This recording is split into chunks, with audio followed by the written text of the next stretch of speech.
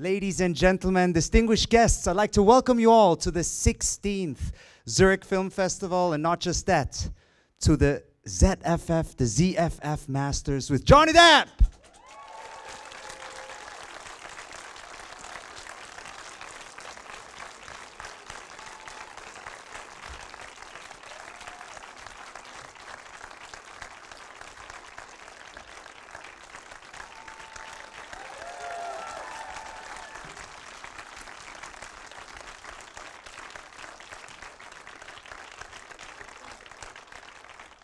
Johnny, welcome. Pleasure to have you here. Please take a seat to my left. See over there. Your microphone is here. Ah, welcome back to Zurich. Uh, you've been here several times. You were here two years ago. Uh, the world has changed quite a bit since then, this year at least. Um, I guess it's been a difficult year for a lot of people, also for the film industry. So, what does it mean to you to be back here in Switzerland now, to be able to present your film, the documentary about Shane MacGowan, in front of a live audience? Um, it's hi, by the way, Hi, everybody. Um, it's kind of it's very surreal because um, to to present a film about someone that uh, that you've known for a very long time and that you've you have uh, um, love for that that uh, is is is uh, and respect for. Um, I mean, I, Shane is to me one of the the great poets of certainly the 20th century, 21st century. He's uh, in a unique place in history, I believe. but he's someone that I've known, um, and from the first second that I met him, I was sure, and everyone around him was sure that he would be dead within a week. um, he's not dead. It's been 30 years. he's not dead. He's tough. Um, so the, the, the, great gift of, of presenting um, this, essentially this, this, this sort of love letter uh, to an old friend is uh, makes it all the more um, you know, touching, warming, that people are responding so uh, so well to the film, um, and seeing this man for the first time uh, in in the reality, you know, it's uh, it's something very special for all of us. Absolutely. I, I, I got to see the movie and uh, I didn't know Shane that well. So uh, we'll, we'll be talking about the film. But I'd love to welcome as well Victoria. Shane's wife is here with us. So big round of Swiss applause for Victoria.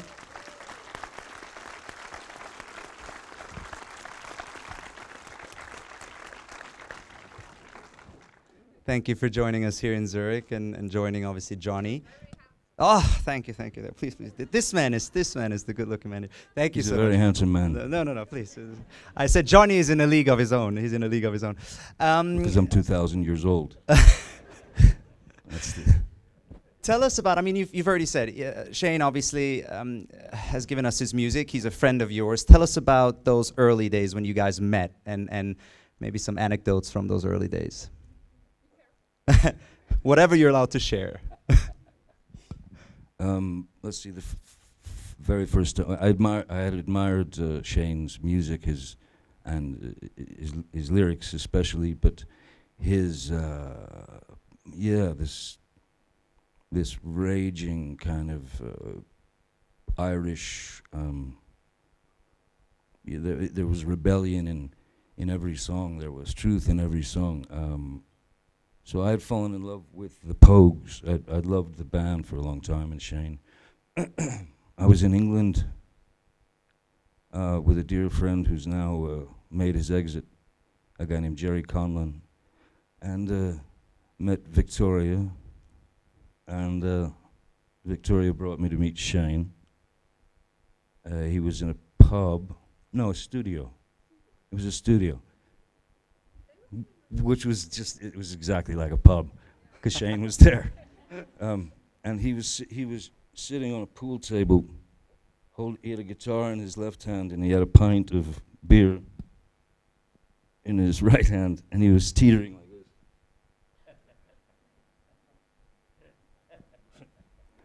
so he was sort of doing this very slow metronome thing, and uh, Victoria introduced us, and he's like,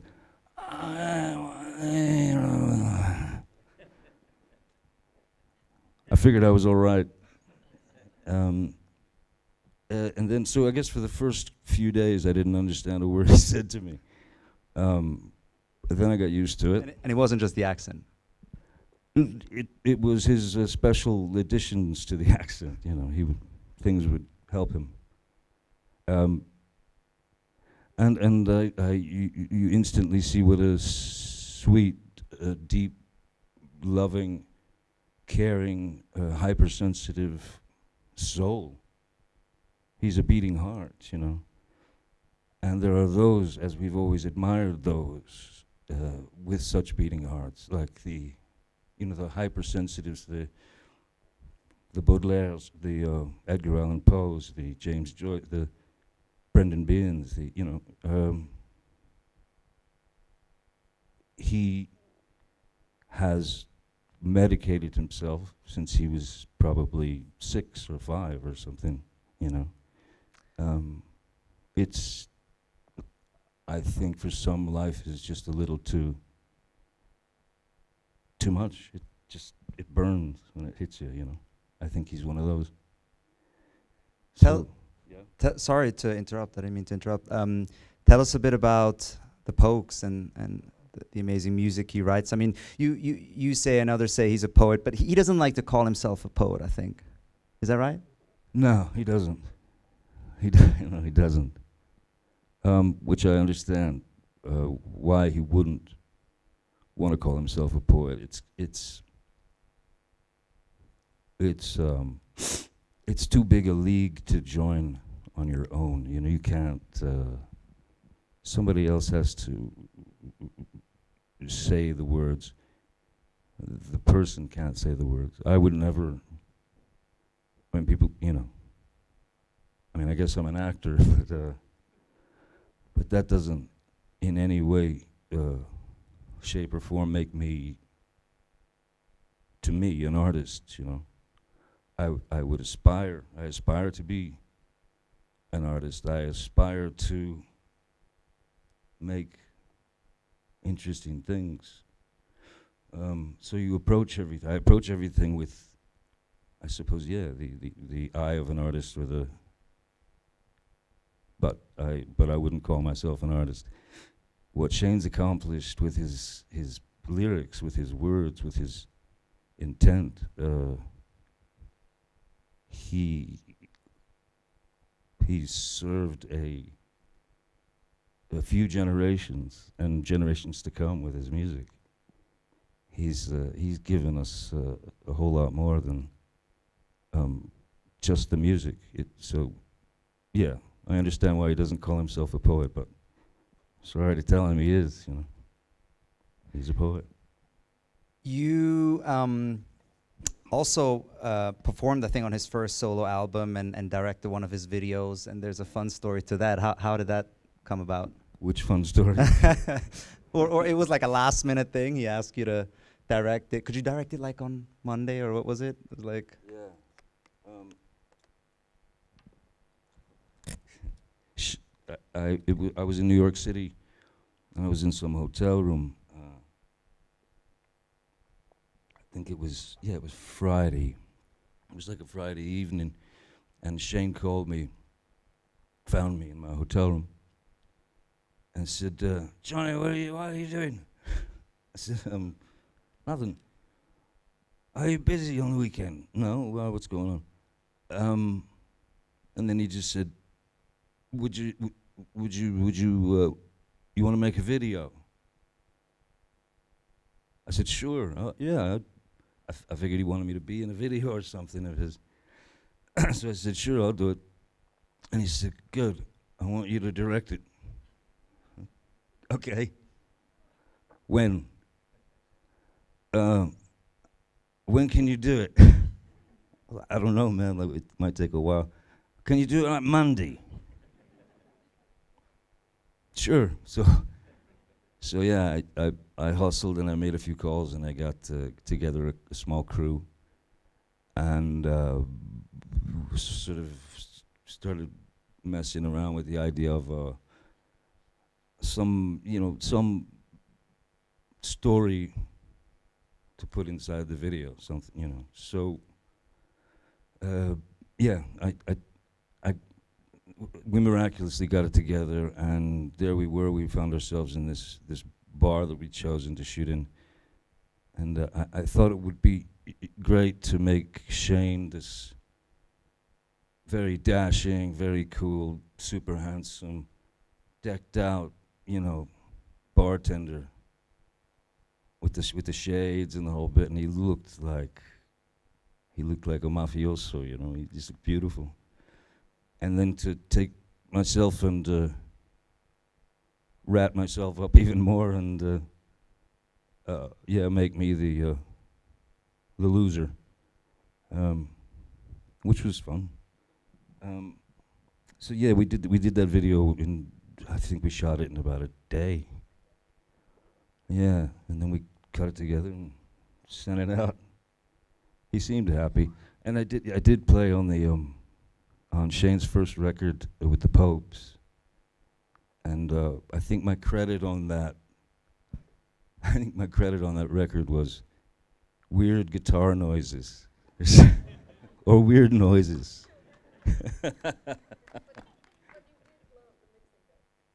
That's true. I did. Um, I did. Shane was making that album, and uh, we were all we were all drinking a little bit. We were all drinking a lot. Uh, I had a bottle of wine in my hand, and we were listening to playback of uh, one of the tracks, and I was leaning on the desk, the you know the mixing board, and this bottle of wine just went and shattered all over this mixing board. And it made the most horrendous noise. You know you know. And Shane goes what was that did you get it that was great what was that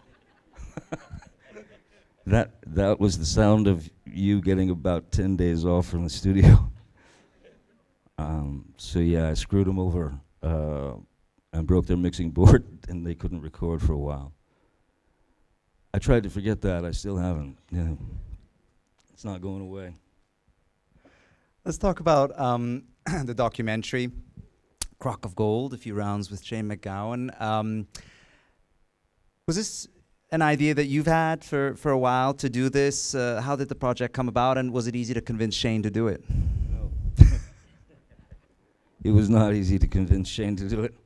It's not easy to convince Shane to do anything, except have a drink with you. um, even that's not easy sometimes.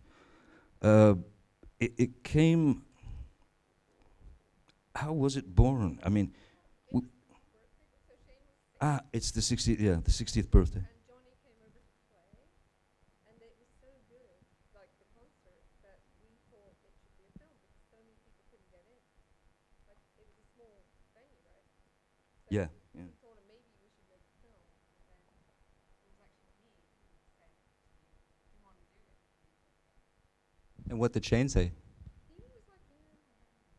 Well, see, the, the good news is, if if if I if if I had brought it up, Shane would have gone fuck off, fuck off, fuck off. If Victoria brings it up, oh, yeah, we'll see, we'll see. Yeah. I think he thought it'd be a bit of fun, maybe, maybe not. And it wasn't. no, it was fun. But but then it was But quite unpredictable, right? I heard that it wasn't. I mean, it was not like Shane. We're shooting tomorrow, 8 a.m. Let's go, right? It wasn't. It was nothing like that. I don't think it'll ever be like that. I don't. Shane, I, Shane did a uh, um, a cameo in this film I did, The Libertine, many years ago, and uh, we dressed him like sort of with this cape and this wonderful costume, and and he's singing some ballad. Uh, um, he was on time for that. he was on time. He was on time. He's actually like the idea of being a gangster in film, like, you know, He sh- We could still make it work. No, I, I, I know Uh, someone that, that can maybe make um, it happen. I don't know. Oh man, Shane would be. I mean, it would be amazing. But yeah, that was uh, um, when I mean, you know, when uh, we did the 60th birthday uh, in Dublin, and all these people came from all over the world to to um, yeah to to pay their respects to Shane, to to be there for this very special night uh, with the president of Ireland, um, acknowledging basically acknowledging Shane as a, as a national uh, treasure, you know, uh, which he is. Um, I think the next move is to get a big statue for him. We need a big bronze statue in Tipperary or ah Dublin. Make it a huge one in Dublin. But I think Bono was performing, right? And a whole, I mean, yeah, yeah. uh, Bono, uh, amongst others. Bono played uh, Nick Cave, Bobby Gillespie, um, Sinead. Sinead was amazing. Um, God, there were so many people. I mean, a lot of the po. There's a wonderful. It was an incredible band. I got to play uh, uh, guitar on. Um, what was it? Rainy, was it Rainy Night in Soho? On Rainy Night in Soho with um, and Bono sang. Yeah, it was nice. It was very ni- so. She's right. That that really did instigate them. Yeah. He was. He was. He was. Yeah. He was visually touched by that whole thing. It was. It was. That's overload, man. Yeah. How was your 60th birthday? Oh, you know, Bono was there and Johnny Depp was playing the guitar, and you know, it's just, it's just my 60th birthday. um, obviously, we don't want to give away too much from the film, but um, Shane, I think he, he he wouldn't want it to be just an interview with him. It was conversations with with various different people. Who decided which, you know, who decided which people were the right people to have these or co- yeah conversations with him? Was it Shane himself? I mean, I know you're in it, and obviously you, Victoria, and Uh, I I don't know who who chose all, all the people. It was probably Victoria. It was probably Julien. It was probably Stephen Deuters, um, our producer. Um, Stephen chose everyone, and we'd like we'd liked him to tell us why. No, um, but I, I thought it was really, you know, it was a great round roundup of of various uh, uh, types of people. Um, it, it was it was a- it was widespread. I mean, it was um, sort of traditional, the traditional kind of Irish to to this wonderful punk side, um, and everybody sort of represented their, yeah, I suppose their place in Shane's life or Shane's place in their life. Everybody, everybody took it very well. I'm lucky. I was very lucky because, uh, probably because Shane just feels sorry for me now. Um, no, but I, I was very lucky in that I am well aware of uh, what it's like. So the difference between an interview and a conversation. An interview is essentially someone asking you questions that they don't care about the answer. Um, and a conversation, you feed off one another. So if if anyone had ever mentioned the uh, uh, the word interview to Shane, he would have been out of that room so fast that it would have made uh, made people fall over. Yeah, no, no, he no interviews. It was just conversation, and also letting him be silent. You know, uh, a, there are a lot of moments of silence that in the film, mm, on Shane's part, that, that where it speaks volumes. Uh, the silence um, becomes more important than than the words because you see this. Well, you'll see. You see, you see his heart. You you see, you see that man. You see that special thing that we that I've been able to call a friend for 30 years, you know. Um, yeah. I said Julien. I, said Julien. That Julien maybe chose the. Um, the one thing, yeah, no, I mean, Julien Temple came in with uh, fire, man. He came in with fire and intensity. He came in with, because he's, I mean, he, he's known Shane for a very, very long time. He's, he's photographed Shane during the the days of early days of punk rock, Pistols, the Clash, all that. Um, and so, so um, Julien had done the rock and roll swindle and all that. Uh, so when he came into this, it was like uh,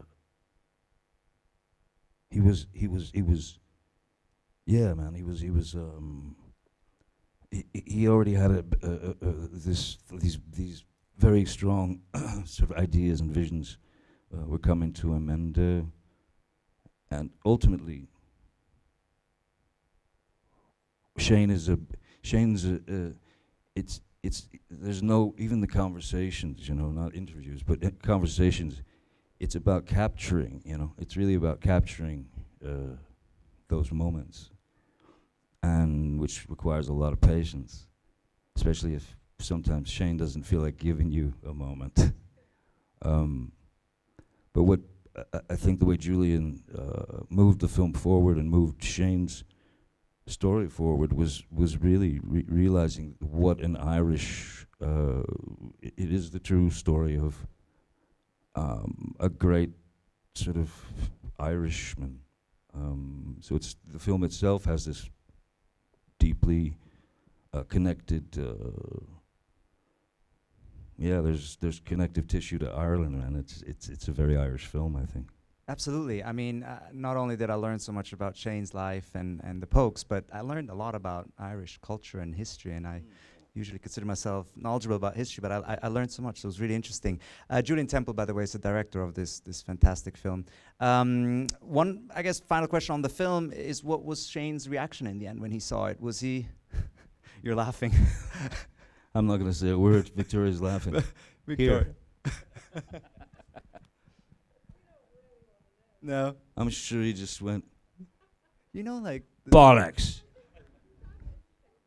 he, he thought it was interesting. no, it's always But He found it interesting, entertaining. Were there that any, the- was there any emotion whatsoever? Not much. Yeah. Oh, the yeah.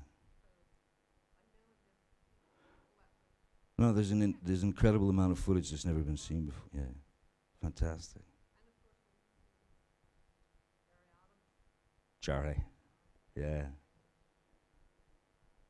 She said she she she, she said she said that when Shane saw my name on the what was it? Shane saw my name on the in the credits or whatever. And he's and what what did he say? He said it was he got what? He was he was he was beaming happy. That's just because he was probably thinking of about ten things to uh, insult me with later. Best one of the best things anyone's ever said to me. We we we Steve and Gina we all flew into uh, where was it? Uh, Copenhagen for for for Shane and Victoria's we- wedding, and we arrive there. And as as as uh, as we make our way up to Shane and Victoria, Shane just looks at he looks at me and he goes, "You look like a fucking pimp."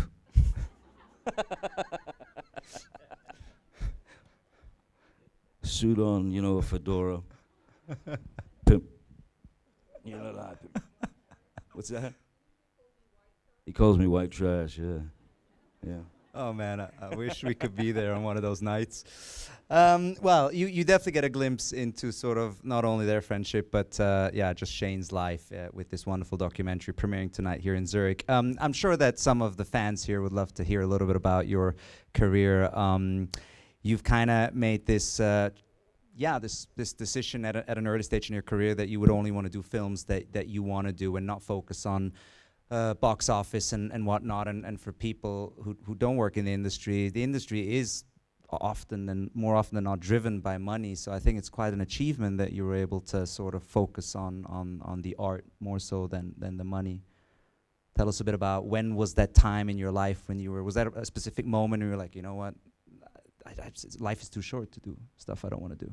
Well, yeah, what happened really to me was um, having been a musician for, you know, since the age of 12, uh, and, and I mean, crazy, you know, started playing nightclubs at th- 13 and was playing them regularly at the age of 15, dropped out of school, um, worked various jobs, all that but uh, um, I, I, I, th- I think like having been a musician and having that be the first the true love of my life, when it came into the, the idea of doing a movie, um, I wasn't an actor, so I didn't care really. You know, I made a couple of films, but I didn't care. It's you know, it was somebody wanted to give me I don't know at the time it was like uh, eighteen hundred dollars a week. So I was yeah, I'll take it. I don't care. Well, it doesn't matter because I'm not. This is not my thing. So, um, and then somewhere along the line, uh, I found myself stuck on that road, and realized that the music was have to was going to have to take a back seat um, somehow, and uh, as I st- started as a musician, playing, writing, whatever, my my my I suppose my outlook on the acting, you know, becoming an actor was, well, if I'm going to become an actor, I I want to be, um, I I, I want to be the punk rock actor, I, you know. I don't want to do. Uh, I don't want to do these uh, formulaic, um, um, uh, plodding, you know, three act structure, character arcs, and motivations. And I didn't. I. I just. I thought I'm gonna do what the things that I want to do. Uh, and more so after I got off the television series. That was really the impetus for me to say, okay, no more. I don't want to be poster boy. So uh, that's that was really, Crybaby was like putting, taking my first step in on the this imaginary this road that I had in my head. Uh, Crybaby was the first step.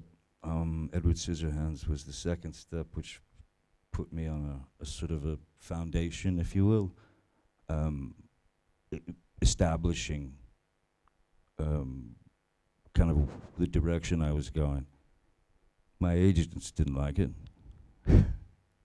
um, but I did, and uh, the more I got used to the process, the more I got interested in the process, the more I got more interested in trying to do things that were well, maybe not so done. Uh, I could try to approach characters from a different angle and also, you know, understand that whatever I do every time out of the gate, that it, um, you sort of have to be I think you need to feel like you're about to fall flat on your face, you know, when you approach something. I think you need to feel uh, failure hanging around potential for potential, you know. I think you need to be in a corner sometimes to to fight your way out and and and sort of find uh, the things that you want to do as opposed to what the studio wants you to do in terms of the approach to the character or whatever you know Is is it is it hard to find good stuff just because the industry is so money driven and more often than not the script's not even that important. It's just always about who's the director and, and the actor and how good was his last film, how much did it gross. Is, is it has it been easy to you to, easy for you in your career to find good scripts or has it been hard at times? Um, no, I mean, there are great scripts out there. Um, there are great scripts out there from from really terrific, like, very very talented writers that just don't happen to be known. So nobody, uh, nobody in agencies or production companies are jumping at these these scripts. Um, everyone is the studio system. Obviously, is very it's in uh, an interesting flux right now um, because of the COVID and all. But uh, you know, the, the, st- the studios uh, when they dictate what um, what they want as a final product. Um, to me, that was a ridic- that was a ridiculous. It's a ridiculous thing to think of a result before you've taken your first step on the journey. You know. Mm. Um, so, on my journey, for example, on Pirates with Disney, from the very first second that they saw me, they they um, they were scared to death. they were nervous, you know. Um, yeah, they were afraid. Of, they didn't think that anyone would understand a word that Captain Jack said. I got calls from you know, upper echelon Disney people asking me if is the character drunk? Are you drunk? what what's the thing with the hands? What's this? What's all that? And what is he saying? And why is he like that? Is he drunk? is he is he is he uh, screwy? Something's wrong up there? Is he gay? You know. And fortunately, uh, I had the answer right then and there. Since she said that, I said, "But Nina, don't you know that all my characters are gay?" Which, of course, worried her a lot more. um, that their um, apprehension to what I was doing, I, I wasn't discouraged in the in the slightest. I know that sounds weird, um, but I actually, you know, I, I really, you know, I, I believed in what I had come up with as a character. I believed in it, and uh, wasn't prepared to change it. And I told him that you're welcome to fire me. You got to pay me, but you're welcome to fire me. It's okay. I understand. It's scary. I understand. But if you trust me, I mean, you don't get anywhere if you don't take the risk, right? If you don't leave your house, you're not going to uh, find that crock of gold, as it were. Um, so yeah, I uh, it didn't discourage me at all. In, in fact, it's happened several times with studios, mostly, uh, where it gets the character gets them worried. It it I find it it fuels me, you know. It fuels me. It it, it gives me. I know that if they're worried that I'm doing my job correctly, you know, if they're scared, that means that that I'm doing something that they find obtuse and unpleasant for their precious three-act structure. Because I try to ruin that with the character, you know. That's that's my job. So yeah, um, that kind of thing fuels you, you know. It just makes you want to show them all the more. So when they asked me to bring it down, I turned it up. Um, which is the right thing to do, uh, I think. Uh, yeah, I just I just think it's admirable. I have people working in the industry, and it's just hard when you have all these people around you, and everyone wants to make money and push you in a direction. So to be able to do something that y- you love and obviously follow the art, I I think is is an, is an achievement. Um, we're almost at the end, unfortunately, but I'd love. Shall we uh, get the audience I would to love to. Yeah, if anybody wants to. Um, if anyone has a question for Johnny, um, ooh, there's. I think that lady was really quick over there. Um, you can just uh, stand up and shout out loud.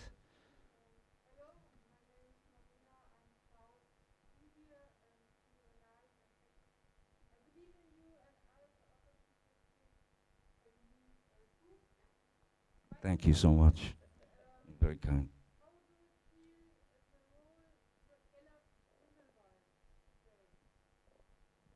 Oh, it, it felt. I mean, it felt. Um, it felt beautiful, really. I there's a Grindelwald to me is almost like some like a like a very um, like some very thin, fragile uh, uh, piece of like, like crystal. Um, so there's this there's this um, element to his his speech that's uh, I, li- I liked the idea of him speaking like uh, like that sound of you know when you tap a wine glass that ding.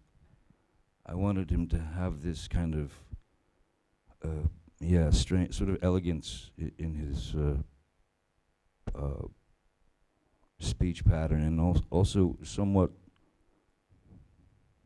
almost almost like a you know television evangelists they speak in certain rhythms to to draw you in politicians and you know people of that ilk have been doing it for thousands of years um,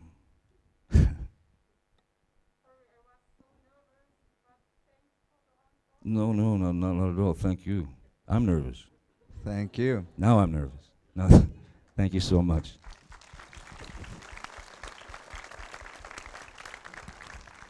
Thank you for Great. asking that question. Uh, the lady, the blonde lady is. Hi.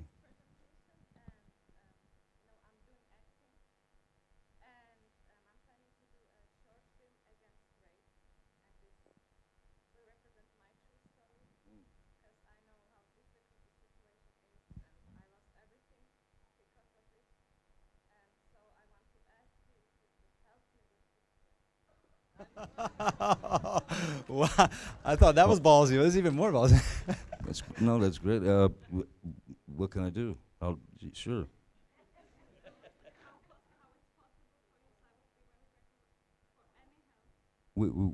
If if um um if this gentleman here, that's my son.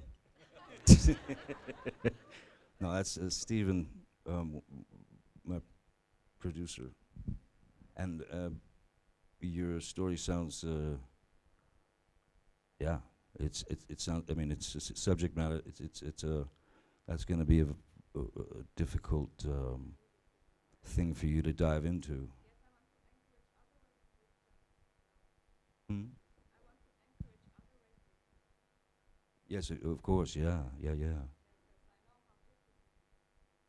Well, I'm sorry. Uh, a lot of pain, I'm sure. Well, I'm so sorry for you having had to uh, live through, go through that kind of that that, that, horror. Um, and I think you're very brave to uh, to have the impetus to turn it into something that is um, cathartic and helpful for you, and uh, helpful for others who've who've experienced the same kind of thing. So yeah, uh, yeah, for sure. Just give, just give him, uh, exchange. Uh, I think he even has cards. But but but only He's you, okay? You can't can't hand out cards to everyone here. Okay? John, Johnny can't help everyone as much as he would like to. Um, yeah, there was a gentleman can over there. help myself. There's a final question. Hey man, hi.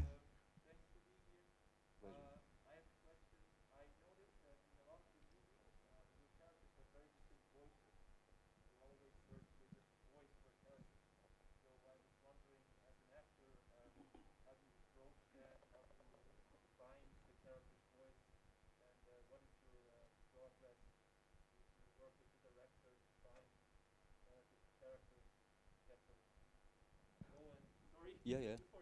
It's all right.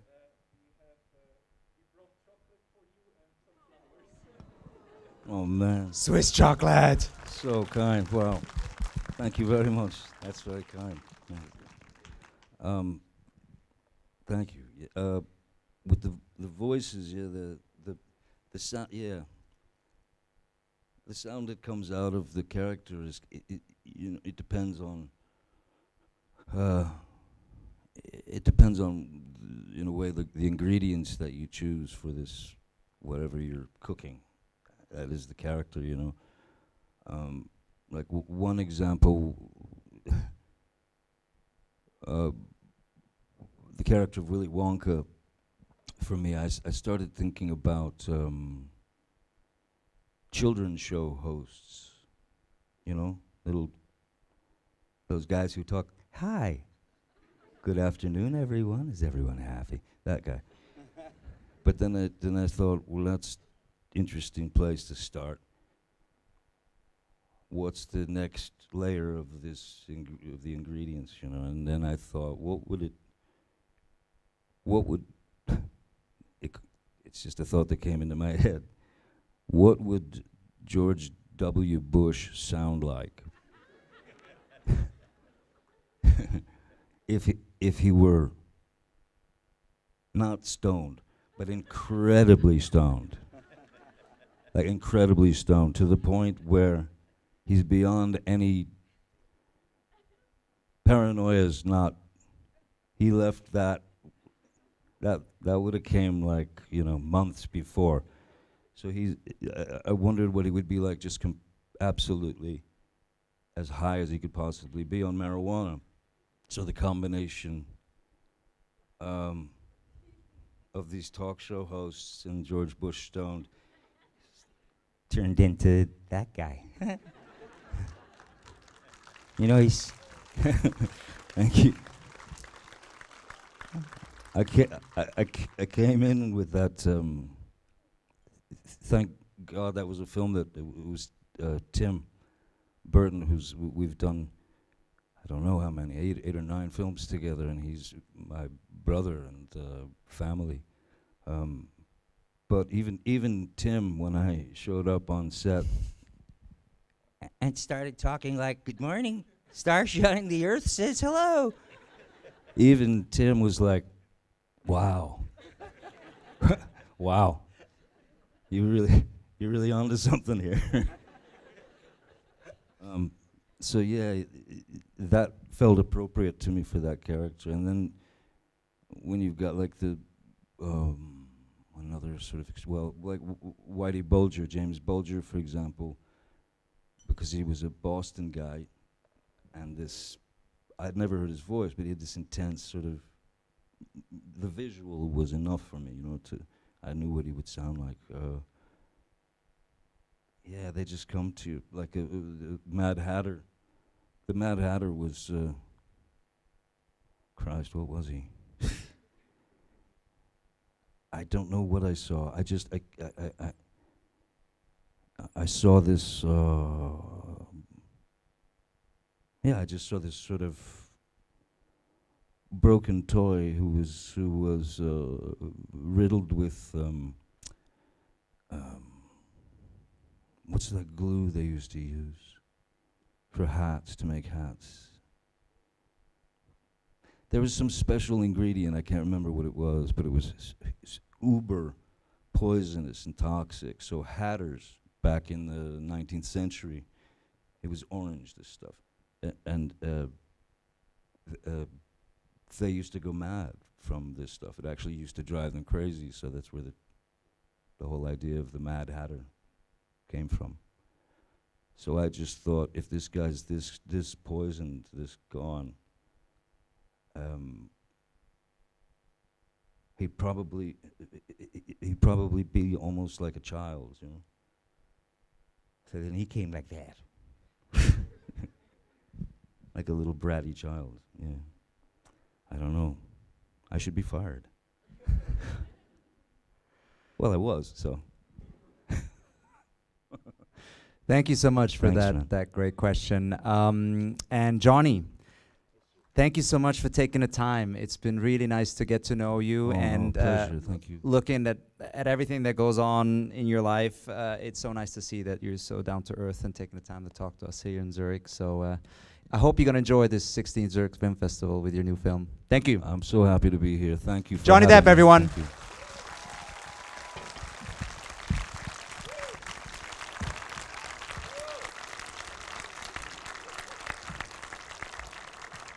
You're very, very, very kind. Thanks a lot. I hope you, uh, I hope you see the film. I hope you like the film. Take care. Cheers.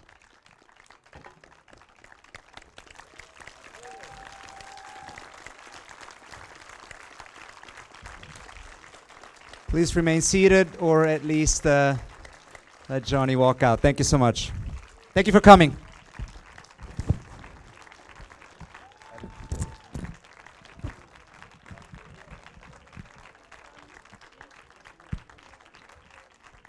Sean. Hello.